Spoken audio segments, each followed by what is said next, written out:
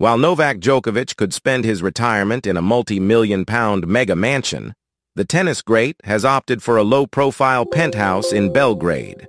Novak Djokovic will spend his retirement in a humble penthouse in Belgrade instead of splashing the cash on a lucrative multi-million pound mega mansion. At 37, the Serbian tennis great is proving to the world that he still has game in his locker.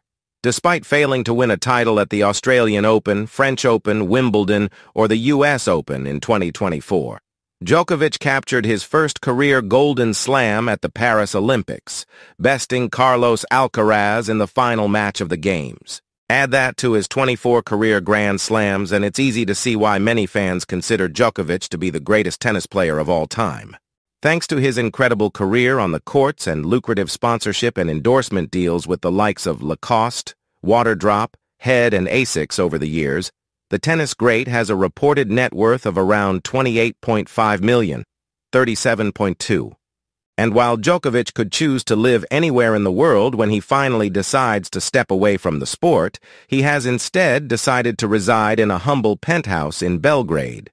Thanks to his tennis career, Djokovic has owned several properties worldwide. He first purchased a quaint Monte Carlo residence for an undisclosed fee shortly after turning pro in 2003.